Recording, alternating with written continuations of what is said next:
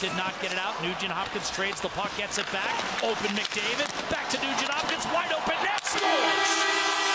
Edmonton right back in the game. It's 4-2, and Nugent Hopkins needed that one.